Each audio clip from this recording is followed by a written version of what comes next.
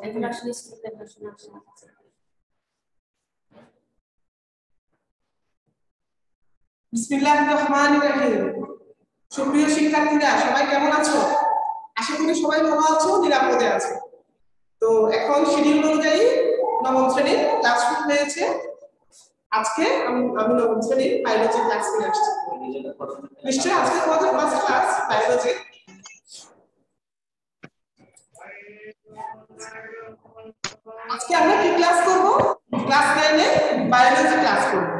তো আমি আসলে, যেহেতু স্কুল বন্ধ হয়ে গেছে ক্লাস যে বিভাগ নির্বাচনের আগে মানে তোমাদের যে গ্রুপ নির্বাচন, সেটার আগে তো স্কুল বন্ধ হয়ে গেল। তো কারা গ্রুপে গেছো, আমরা সঠিক জানি না। আসলে গ্রুপ বিভাজন হতে হতে, পরিচিত হতে হতে, বই আসতে না আসতে স্কুলটা বন্ধ হয়ে গেল, সেজন্য আমি তোমাদেরকে ঠিক চিনতেছি না বিশেষ করে ছেলেদেরকে তো চেনার কথা না? এই থেকে তো আমার হাত থেকে গেলা নাই। এখন যাই হোক, তোমরা নিশ্চয়ই তোমরা এখন বিভাগটা সবাই চুজ করে নিয়ে ফেলছো, কেউ সায়েন্সে কেউ কমার্সে বলতেছে। তো আমি আজকে কাদের ক্লাস নিব? আজকে আমি সায়েন্সের ক্লাস নিব। সায়েন্সের বায়োলজি ক্লাস নিশ্চয়ই এর আগে কখনো, এর আগে বায়োলজি ক্লাস হয় নাই নিশ্চয়ই। তো আজকে চলো আমরা বায়োলজি প্রথম নিয়ে আলোচনা তাহলে চলো আমরা বায়োলজির প্রথম আলোচনা করি। কারণ এটা হচ্ছে ভূমিকা। আমরা কোনো একটা কিছু শুরু করার আগে ভূমিকাটা একটু আমাদেরকে জানতে সেজন্য এই চ্যাপ্টারটা হচ্ছে, প্রথম চ্যাপ্টারটা হচ্ছে বায়োলজি বইটা, ভূমিকা। এটা যখন আমরা, ভূমিকাটা যখন আমরা পড়ব বইয়ের ভিতরে আরও কি আছে এটা আমরা আমাদের কাছে স্পষ্ট হয়ে যাবে সেজন্য যেহেতু ক্লাস নাইনে আমাদের নতুন বই নতুন ক্লাস প্রথম অধ্যায়টাই আমরা আজকে আলোচনা করব। তো আজকে আমাদের প্রথম অধ্যায় হচ্ছে জীবন পাঠ জীবন আসলে এই অধ্যায়টা থেকে আমরা কি কি শিখতে পারব একটু বলে রাখি আমাদের এই অধ্যায়টা থেকে আমরা শিখতে পারব জীববিজ্ঞানের সামগ্রিক একটা ধারণা আমরা ব্যাখ্যা করতে পারব জীববিজ্ঞানের কিছু শাখা আছে জীববিজ্ঞান বিষয়টা ছোট বিষয় নয় কিন্তু অনেক বড় একটা বিষয় পৃথিবীতে যত উদ্ভিদ এবং প্রাণী আছে। পৃথিবীতে যত উদ্ভিদ এবং প্রাণী আছে, সবাইকে নিয়ে গবেষণা করে জীববিজ্ঞানের মধ্যে জীববিজ্ঞানের ভিতরে অন্তর্ভুক্ত এগুলো। প্রত্যেক উদ্ভিদ এবং প্রাণীর বিষয়টা জীববিজ্ঞানের মধ্যে তার সর্ব, সব, সর্ব বিষয় জীববিজ্ঞানে কি থাকে? হ্যাঁ ইনক্লুড থাকে, যুক্ত থাকে। সেটা আমরা আজকে জানব। আমরা পৃথিবীর পৃথিবীর আমাদের পৃথিবীর সব উদ্ভিদ এবং প্রাণী সম্পর্কে একটু ধারণা নেব এই প্রথম অধ্যায় থেকে। তারপরে জীববিজ্ঞান প্রথম অধ্যায় থেকে আছে। তাহলে এটা বিশাল একটা ব্যাপার। সেটা সেই জন্য এটাকে ভাগ করা হয়েছে। সেজন্য এটাকে কি করা হয়েছে? ভাগ করা হয়েছে। এই ভাগগুলো আমরা জানব। এই ভাগগুলো আমরা জানব এবং যে পৃথিবীর আমাদের দেশের বাইরেও কোনো উদ্ভিদ এবং প্রাণী সম্পর্কে আমরা কিছু তথ্য দিতে পারব। এই আইডিয়াটা নেওয়ার পরে। এরপরে আমরা যেটা জানব সেটা হচ্ছে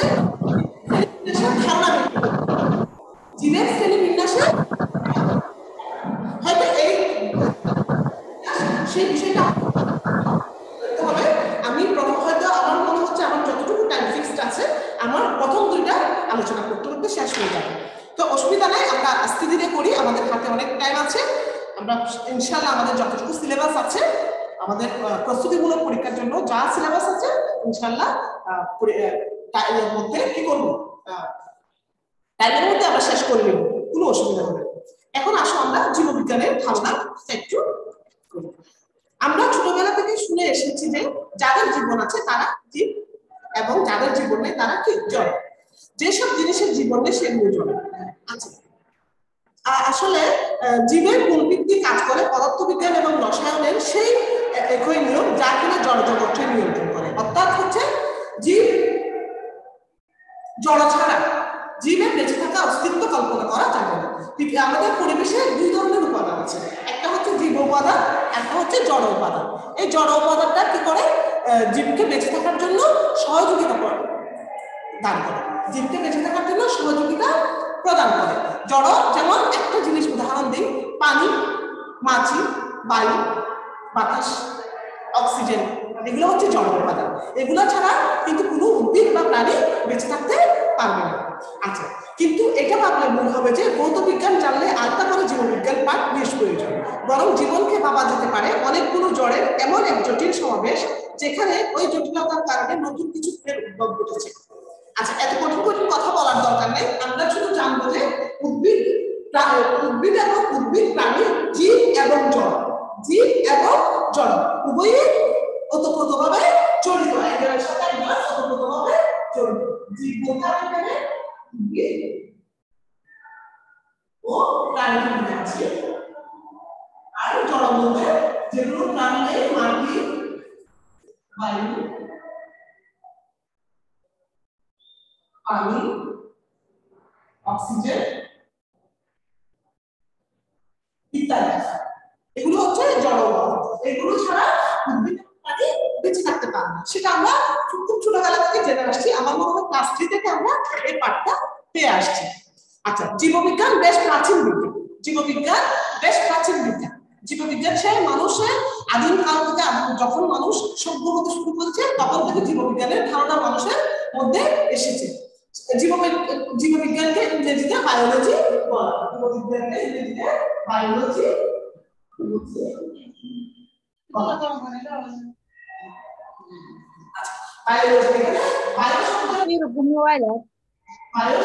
শব্দ কারণ লগোস হ্যাঁ লগোস অর্থ জ্ঞান দেখো জীববিজ্ঞান জীববিজ্ঞানকে ইংরেজিতে বায়োলজি বলে এটি গঠিত হয়েছে গ্রিস বায়োস জীবন এবং লগোস জ্ঞান শব্দ দুটির সমন্বয় যেহেতু চিকিৎসা ও কৃষি সংক্রান্ত ব্যাপারে জীববিজ্ঞানের একটি গুরুত্বপূর্ণ ভূমিকা রয়েছে সেহেতু সভ্যতার একেবারে আদিকাল থেকে গ্রিস, মিশর, মধ্যপ্রাচ্য, ভারতবর্ষ ও চীন সহ বিভিন্ন অঞ্চলের সভ্যতায় জীববিজ্ঞানের কিছু না কিছু চর্চা হয়েছে। যদিও সেসব চর্চাকে আধুনিক বৈজ্ঞানিক পদ্ধতির বিচারে ঠিক বিজ্ঞান বলা যায় না, তবু জ্ঞানের এই শাখা বিকাশের জন্য তা ছিল অপরিহার্য। আসলে ওই যে আগের যে জ্ঞানগুলো ছিল, সেগুলো থেকে এখন অনেক আপডেট বলতেছে যে, আগের যে সূক্ষ্ম জ্ঞানগুলো, ছোট ছোট জ্ঞানগুলো ছিল, সেগুলোকে বিজ্ঞানের হিসাবে কল্পনা না করলেও চলে, কিন্তু কল্পনা না করলে আমরা এত দূরে আসতে পারতাম না সেটা। তো জীব তোমরা তিন পৃষ্ঠায় জীববিজ্ঞানের ধারণা ছোট্ট একটা কলাম আছে সেটা তোমরা পড়ে নিবে। কোনো একটা জটিল কিছু না এবং এটা পরীক্ষার মতো আসে না সেরকম কিছু না, একটু জাস্ট ধারণা। জীববিজ্ঞানের ধারণাটা শুরুটা কীভাবে হয়েছিল সেই ধারণা। এখন আসো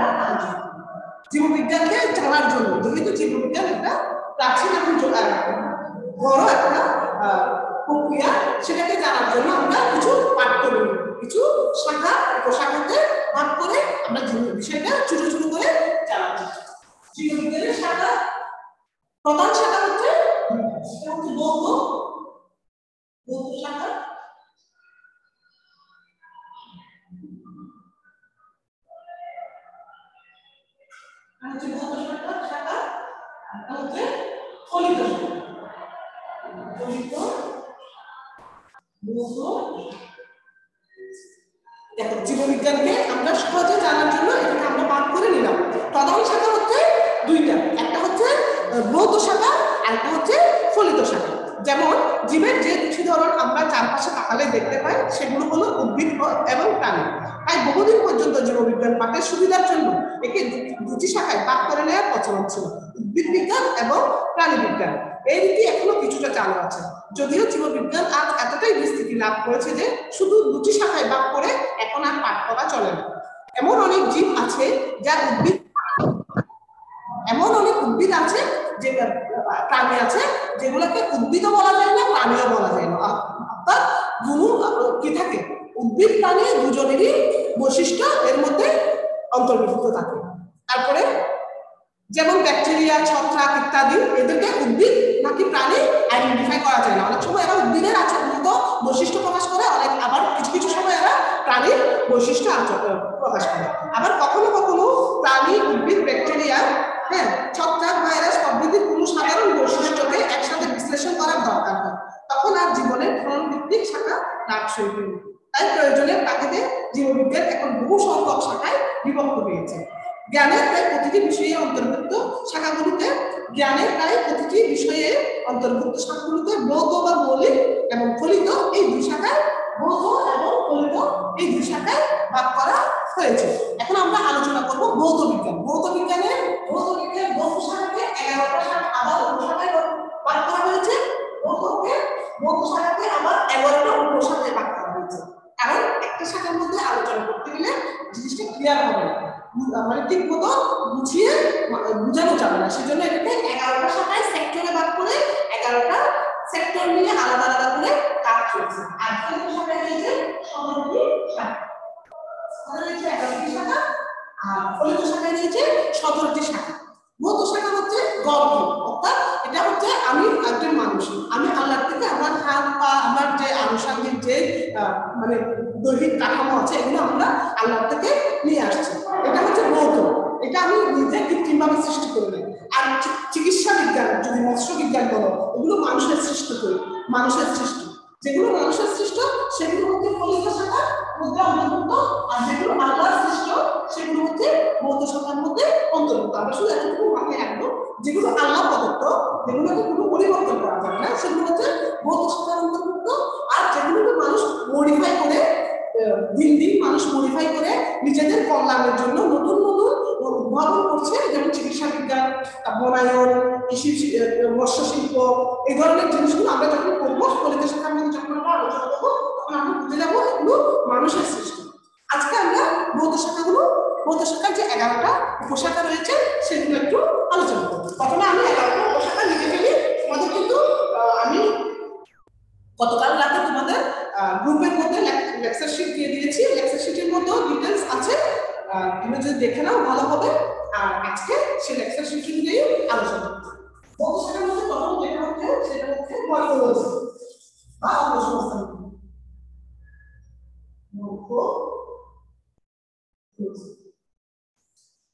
এটাকে বাংলাতে বলে অঙ্গসংস্থান বিদ্যা আমরা একটু আলোচনা করব, আগে লিখে ফেলি। তারপরে হচ্ছে ট্যাক্সোনমি বা শ্রেণীবিন্যাস।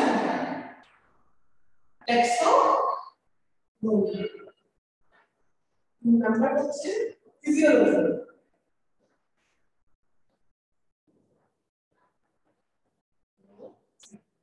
চার হিস্টোলজি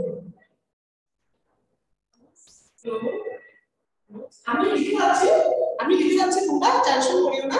আমি আসব আসতেছি লেখার শেষে for the post student. As well as employers.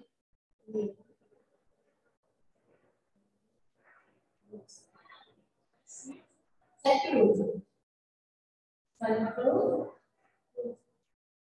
Third. Service.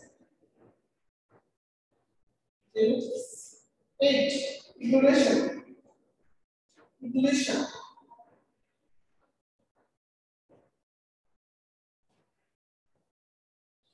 Velho. Close. Close. Jenny. Tem que jogar close.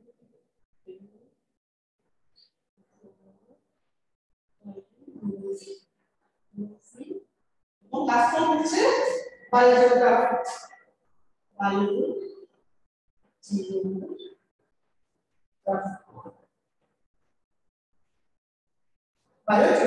আসো, আমরা এখন একটু এগুলো আলোচনা। তাহলে আমরা ভৌত শাখার মধ্যে টোটাল এগারোটা, শাখা এগারোটা উপশাখা পেলাম ভৌত শাখাকে আলোচনার সুবিধার্থে, বোঝার সুবিধার্থে এটাকে এগারোটা শাখায় ভাগ করা হয়েছে। আমি একটা উদাহরণ দিব, সেটা হচ্ছে আমরা যখন ডিসপেন্সারিতে যাই, ফার্মেসিতে যাই ওষুধ কিনতে, তখন দেখি যে আমরা ওষুধের দোকানে সারি সারি ওষুধের সারি রয়েছে। যখনই যে ওষুধ চাইবে, দোকানদার সেই ওষুধটা সে নির্দিষ্ট জায়গা থেকে তোমাকে এনে দিবে। এবং নির্দিষ্ট জায়গায় সারিবদ্ধভাবে বিভিন্ন ব্র্যান্ডের ওষুধ এক এক জায়গায় সারিবদ্ধভাবে আছে। দোকানদার জানে যে, যিনি দোকানদার তিনি জানে যে কোন জায়গায় কোন ওষুধটা আছে। যদি সেজন্য সুশৃঙ্খলভাবে ওষুধগুলো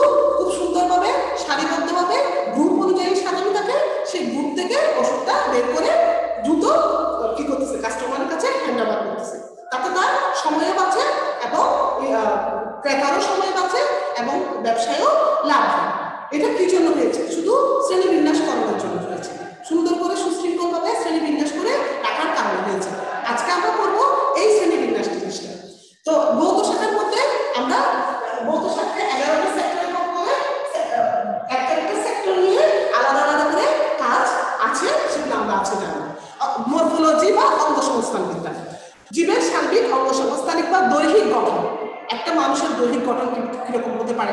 একটা তেলের পোকার দৈহিক গঠন কীরকম হতে পারে? একটা হাতের দৈহিক গঠন কীরকম হতে পারে? এগুলো নিয়ে আলোচনা করা হয় এই শাখায়। কোন শাখায়? মরফোলজি বা অঙ্গ সংস্থান বিদ্যায়। দেহের বাহ্যিক বর্ণনার বিষয়কে বহি অঙ্গ সংস্থান এবং দেহের ভেতরে যে আমাদের অঙ্গগুলো রয়েছে, এগুলোকে অন্ত অঙ্গ সংস্থান বলা হয়। দেহের বাইরে যে অঙ্গগুলো রয়েছে, হাত, পা চোখ নাক, এগুলোকে বহি অঙ্গ সংস্থান এবং আমার আমাদের শরীরের ভিতরে বা যেগুলো প্রাণী শরীরের ভিতরে যে অঙ্গগুলো রয়েছে, এগুলোকে অন্ত অঙ্গ সংস্থান বলা হয়। শ্রেণি বিন্যাস বা ট্যাক্সোনমি দেখো, খেয়াল করো ওই যে ওষুধ দোকানদারের যে উদাহরণটা আমি দিলাম, সেটা এখনই প্রযোজ্য। শ্রেণি বিন্যাস বিদ্যা বা ট্যাক্সোনমি জীবের শ্রেণি বিন্যাস এবং তার রীতিনীতিগুলো এই শাখায় আলোচনা করা হয়। অর্থাৎ জীবকে আমরা যদি প্রাণী চিন্তা করি প্রাণীর মধ্যে অনেক ক্যাটাগরির প্রাণী আছে। কিছু আছে স্তন্যপায়ী প্রাণী, কিছু আছে সরীসৃপ, মুখে বর দিয়ে হাঁটে, আলাদা। সবাই কিন্তু মেরুদণ্ডী মেরুদণ্ডী প্রাণী। মেরুদণ্ডী প্রাণীর মধ্যে দেখো বিভিন্ন বৈশিষ্ট্য, বৈশিষ্ট্যের উপর নির্ভর করে প্রাণী আবার ভাগ হয়ে যাচ্ছে স্তন্যপায়ী স্তন্যপায়ী প্রাণী প্রাণী মানে হচ্ছে মায়ের দুধ পান করবে এবং মা বাচ্চা প্রসব করবে, বাচ্চা জন্ম দেবে। আর এরা এদের এগুলো হচ্ছে স্তন্যপায়ী প্রাণীর বৈশিষ্ট্য। আবার কিছু কিছু প্রাণী আছে মেরুদণ্ডী বাচ্চা প্রসব করবে না। ডিম থেকে বাচ্চা হবে। ডিম থেকে কি হবে? বাচ্চা জন্ম হবে। যেমন পাখি। পাখি, তারপরে মাছ, এরা মেরুদণ্ডী প্রাণী, কিন্তু কি হচ্ছে? ওদের বৈশিষ্ট্যের জন্য তারা আলাদা শ্রেণীতে চলে যাচ্ছে। ঠিক সেরকম ট্যাক্সোনমিতে এই শ্রেণি পৃথিবীতে যে হাজার রকমের উদ্ভিদ আছে, হাজার রকমের প্রাণী আছে, এদেরকে সুশৃঙ্খলভাবে সাজিয়ে আলোচনার সুবিধার্থে যে উপস্থাপন করাটাই হলো ট্যাক্সোনমির কাজ। শরীরবিদ্যা বা ফিজিওলজি দেহের নানা অঙ্গ প্রত্যঙ্গে, দেহের নানা অঙ্গ প্রত্যঙ্গের যৌন রাসায়নিক কার্যাদি যেমন শ্বসন, রেচন, শালুক সংশ্লেষণ ইত্যাদি বিষয় এই শাখা আলোচনা করা হয়। শরীরবিদ্যা চিন্তা করো শরীরবিদ্যাতে কি কি আলোচনা করা হয়? দেহের ভিতরে যে শ্বসন হচ্ছে প্রাণীর শ্বসন হচ্ছে, উদ্ভিদের শালক সংশ্লেষণ হচ্ছে, রেচন হচ্ছে, পরিপাক হচ্ছে, এগুলো নিয়ে শরীরবিদ্যা যে গ্রুপটা আছে, যে শাখাটা আছে, সেখানে আলোচনা হচ্ছে। এছাড়া জীবের যাবতীয় শরীরবৃত্তীয় কাজের বিবরণ এই শাখার মধ্যে পাওয়া যায়। হিস্টোলজি হিস্টোলজি মানে হচ্ছে টিস্যুর গঠন আমাদের দেহে যে কোষ আছে, টিস্যু আছে, টিস্যু নিয়ে যেখানে যেই শাখায় আলোচনা করা হয় সেই শাখাটাকে বলে হিস্টোলজি জীবদেহের টিস্যু টিস্যু সমূহের গঠন, বিন্যাস এবং কার্যাবলী এই শাখায় আলোচনা করা হয়। তোমরা হয়তো জেনে থাকবে, অবশ্যই জেনে জেনে থাকবে তোমরা। ক্লাস সিক্স থেকে তোমরা বিজ্ঞান ক্লাস করো অন্য থ্রি থেকে আমরা বিজ্ঞান ক্লাস করে আসছি বাট আমি যেহেতু হাই মাধ্যমিক বিদ্যালয়ে, আমি সিক্স থেকে পড়ে আসছি। টিস্যু নিয়ে কুশ নিয়ে, তো টিস্যুর কী কী কাজ আছে? টিস্যুর ছাড়া যে দেহের কোনো কাজে সম্পন্ন হবে না টিস্যুর ইয়ে ছাড়া। তো এগুলো আমরা কিন্তু জানি। এইগুলো, এই জিনিসগুলো জানার জন্য আমাকে কি করতে হবে? হিস্টোলজি শাখাটা আলোচনা করতে হবে বা বুঝতে হবে, ঠিক আছে? তারপরে দেখো, ভ্রূণবিদ্যা। ভ্রূণবিদ্যা হচ্ছে এমব্রায়োলজি এমব্রায়োলজি ভ্রূণবিদ্যা মানে হচ্ছে জনন যেখানে, জন্ম যেখানে, জন্ম যেখান থেকে হবে, সেই জিনিসটা যেই শাখায় আলোচনা করা হয়, এটাকে বলে এমব্রায়োলজি জনন কোষের উৎপত্তি জনন কোষের উৎপত্তি আহ, জাইগোট এবং ভ্রূণের নিষিক্ত জাইগোট থেকে ভ্রূণের সৃষ্টি গঠন পরিস্ফুটন বিকাশ ইত্যাদি নিয়ে এমব্রায়োলজিতে এমব্রায়োলজিতে কি করা হয়? আলোচনা। তারপরে আছে কোষবিদ্যা জীবদেহে কোষের গঠন কার্যাবলী ও বিভাজন সম্পর্কে যাবতীয় আলোচনা করা এই শাখার প্রধান কাজ। সাইটোলজি বলতে সাইটোলজি তারপরে হচ্ছে জেনেটিক্স জেনেটিক্সে কি কি আলোচনা করা হয়, জীব ও জীবের বংশগতির ধারা সম্পর্কে এই শাখায় আলোচনা করা হয়। এই যে একজন মানুষের কাছ থেকে একটা মানুষের জন্ম হবে, একটা মানব শিশু জন্ম হবে, একজন মানুষের কাছ থেকে একটা মানুষের জন্ম হবে, একটা আম গাছ থেকে একটা আম গাছের জন্ম হবে, একটা জাম গাছ থেকে একটা জাম গাছের জন্ম হবে, একটা গরু থেকে একটা গরুর জন্ম হবে। হ্যাঁ এই যে ধারাবাহিকতা, এগুলো নিয়ে কোথায় আলোচনা করা হয়? জেনেটিক্সে আলোচনা করা হয়। জিনে জিন নিয়ে আমরা সম্ভবত ক্লাস এইটে কিছু আলোচনা ছিল, তোমরা জানো, জিন কি করে? পিতামাতার বৈশিষ্ট্য বলি সন্তান সন্ততিতে বহন করে নিয়ে যায়। তারপরে আসে বিবর্তন বিদ্যা বিবর্তন বিদ্যা সে আদিকালের যে বিবর্তন। বিবর্তন বিদ্যা পৃথিবীতে প্রাণের বিকাশ জীবের বিবর্তন এবং ক্রমবিকাশের তথ্যসমূহ এই বিদ্যায় আলোচনা করা এই শাখায় আলোচনা করা এটাকে ইলিউরেশন বলে। এটাকে কি বলে? ইলিউরেশন বলে। জীব- জীবের যে বিবর্তন আদিমকালের থেকে যে ধারণাটা জীববিজ্ঞানের ধারণাটা শুরু হয়েছে, সেটা এই ইলিউরেশনে আলোচনা করা হয় তারপর আছে বাস্তুবিদ্যা বা ইকোলজি এই সাথে প্রাকৃতিক পরিবেশের সাথে, আমি যে শুরুতেই যে কথাটা বলেছিলাম, আমাদের প্রাকৃতিক পরিবেশের সাথে জীবের যে, জীবের, জড়ের সাথে জীবের যে একটা আন্তঃসম্পর্ক একটা আন্তঃসম্পর্ক, একটা সন্তান যেমন মায়ের একটা নতুন জন্ম গ্রহণ করা সন্তান যেমন মায়ের সাথে যে সম্পর্ক থাকে যেটাকে বাসায় প্রকাশ করা যায় না। একটা নতুন জন্মগ্রহণ করা সন্তানের যে মায়ের কত দরকার হ্যাঁ সেই সম্পর্কটা আমরা ভাষায় প্রকাশ করতে পারব না। একটা গভীর একটা সম্পর্ক, সেটাকে ভাষায় প্রকাশ করা যাবে না। সেটাকে বলে আন্তঃসম্পর্ক। সেই রকমই সম্পর্ক জীব এবং জড় পরিবেশের সাথে। এরপর আসে অ্যান্ড্রোকাইনোলজি। অ্যান্ড্রোকাইনোলজি। অ্যান্ড্রোকাইনোলজি। তোমরা বইয়ের মধ্যে দেখবে, একটা বইয়ের মধ্যে সুন্দর করে লেখা আছে চার পৃষ্ঠা তিন পৃষ্ঠা, তিন এবং চার পৃষ্ঠা।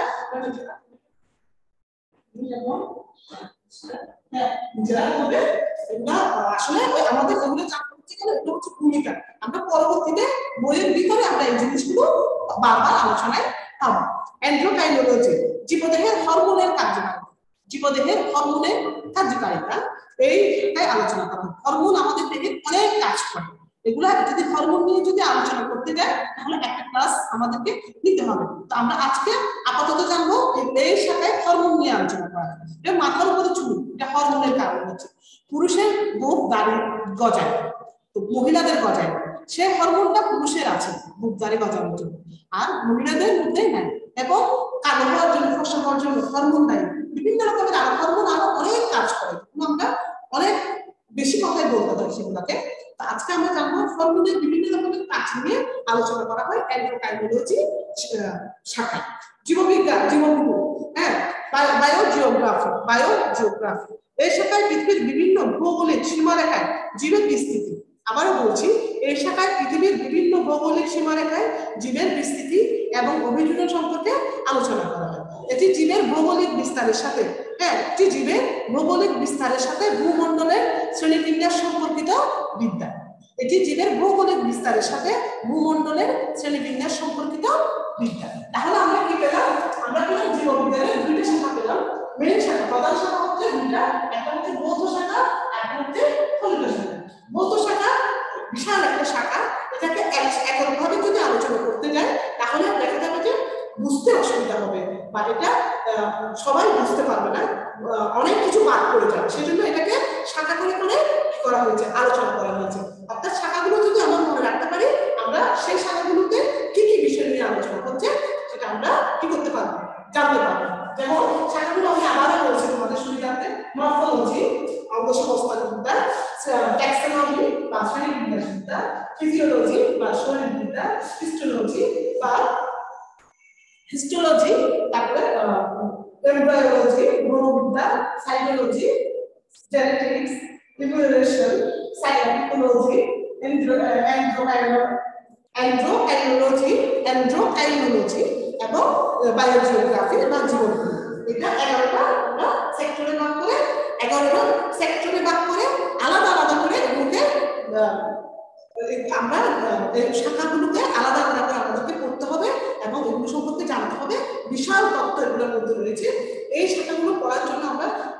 এগুলোকে আমরা ভালো করে জানার জন্য ভার্সিটি লেভেল পর্যন্ত শেষ করতে হবে। তারপর আমরা এগুলোকে জানতে পারব। এবং এগুলোর এক একটা, এক এক- এক একটা শাখার জন্য কয়েকটা করে বই রয়েছে। অর্থাৎ বিশাল জানার বিষয় রয়েছে। আমরা আজকে শর্টকাটে জানলাম, যতটুকু জানার শ্রেণীতে যতটুকু জানার আমাদের জরুরি, ততটুকু জানলাম। এখন আসো ফলিত ফলিত শাখা। ফলিত শাখাটা আমি আগামী ক্লাসে আলোচনা করব। যেহেতু এখানে সতেরোটা উপশাখা রয়েছে, সতেরোটা উপশাখা রয়েছে সতেরোটা উপশাখা আলোচনা করার মতো সময় নেই। আজ এখন আমরা জানব জীবের শ্রেণি বিন্যাসের দ্বারা জীবের শ্রেণি বিন্যাসের ধারণা।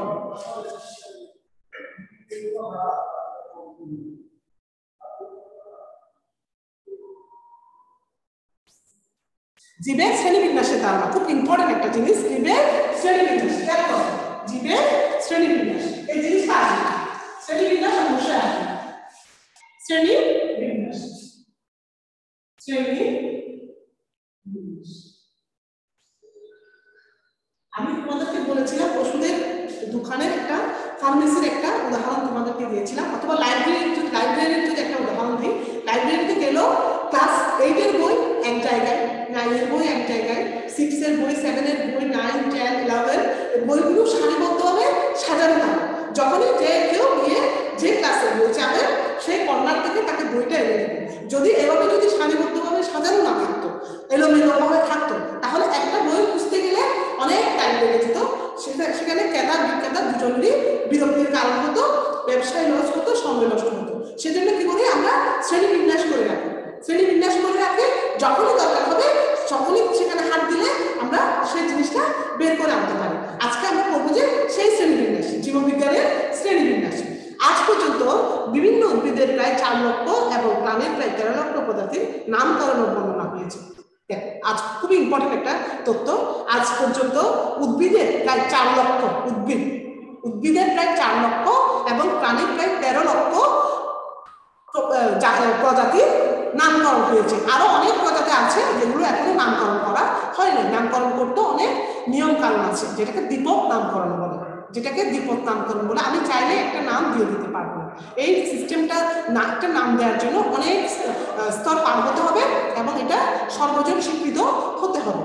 তারপরে তবে এই সংখ্যা চূড়ান্ত নয়, কেননা প্রায় প্রতিদিনই আরও নতুন নতুন প্রজাতির বর্ণনা সংযুক্ত হচ্ছে। অনুমান করা হয় ভবিষ্যতে সব জীবের বর্ণনা শেষ হলে, যদি কখনো শেষ হয় হ্যাঁ এর সংখ্যা দাঁড়াবে প্রায় এক কোটিতে। এর সংখ্যা দাঁড়াবে প্রায় এক কোটি এক কোটি প্রজাতি মানে বিশাল ব্যাপার কিন্তু। হ্যাঁ জানা জানা এবং এবং শিকার সুবিধার্থে। জানা বোঝা এবং শিকার সুবিধার জন্য এই অসংখ্য জীবকে সুষ্ঠুভাবে বিন্যাস করা প্রয়োজন বা সাজানো প্রয়োজন। জীবজগতে, জীবজগৎকে একটি স্বাভাবিক নিয়মে শ্রেণীবিন্যাস করার প্রয়োজনীয়তা অবশ্য অনেক আগে থেকে প্রকৃতি বিজ্ঞানীগণ অনুভব করছিলেন। সেই প্রয়োজনে তাগিদে, সেই প্রয়োজনের তাগিদেই জীববিজ্ঞানের একটি স্বতন্ত্র শাখা গড়ে উঠেছে। যার নাম ট্যাক্সোনমিকা শ্রেণীবিন্যাস। যার নাম ট্যাক্সোনমিকা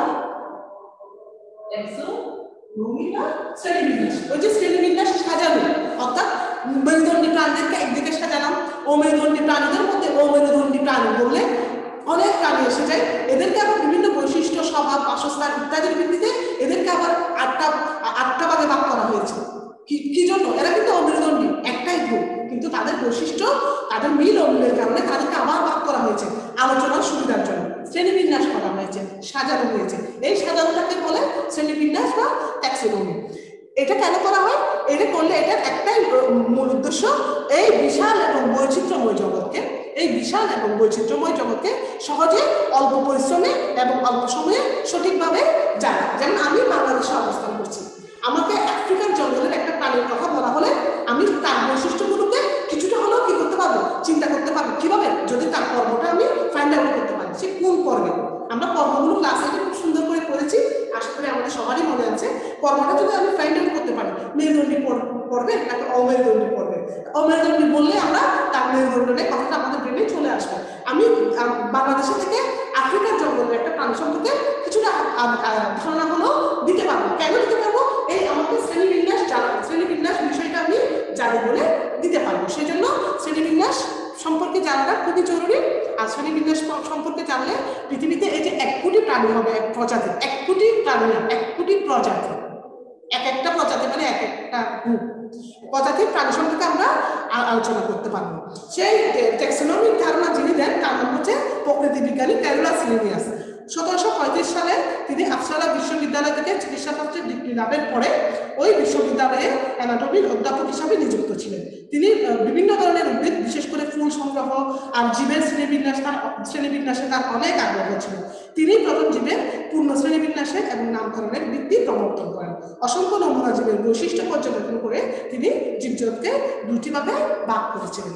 তাকে নামকরণের শ্রেণীবিন্যাসের বলা তাকে ক্যালাস লিনিয়াস কেন প্লাস লিনিয়াস একজন বিজ্ঞানী তিনি প্রথমে উদ্ভিদ এবং প্রাণীদের নামকরণ করেন এই যে মানুষ গরু ছাগল এই ধরনের এই যে নামকরণ এগুলো হচ্ছে আমাদের আঞ্চলিক নাম এগুলো একটা সর্বজন স্বীকৃত ওয়ার্ল্ড ওয়াইজ একটা বৈজ্ঞানিক নাম রয়েছে এটা আমরা আচ্ছা ঠিক আছে আমার টাইম কিন্তু এখানে শেষ আসলে কথা বলতে গেলে এগুলো শেষ করা যায় না চেঞ্জলি চলে আসে তো কিছু করার নেই, আগামী ক্লাসে আরও আলোচনা হবে। তোমাদের জন্য বাড়ির কাজ আমি লেকচার দিয়ে দিয়েছি, তারপরে সুবিধার জন্য আরেকবার বলছি, তোমরা কি করবে? জীববিজ্ঞান শিক্ষার গুরুত্বটা ছোট করে একটু লিখে রাখবে, আর বিশেষ করে ভেরি ভেরি ইম্পর্টেন্ট হচ্ছে জীববিজ্ঞানের ভৌত শাখাগুলো, এগারোটা শাখা লিখে এগুলো ছোট করে ব্যাখ্যা করে ব্যাখ্যা দিবে। এটা তোমাদের জন্য বাড়ির কাজ থাকবে এবং পড়া থাকবে। আমরা এগুলো যদি ঠিক মতো করতে না পারি, তাহলে আমরা পরবর্তীতে ক্লাস করে আনন্দ পাবো। তো আজকে এই পর্যন্ত সবাই ভালো থেকো সুস্থ থেকো। আগামী ক্লাস ম্যাম আসসালামু আলাইকুম। সালাম সবাই ভালো আছো? জি ম্যাম।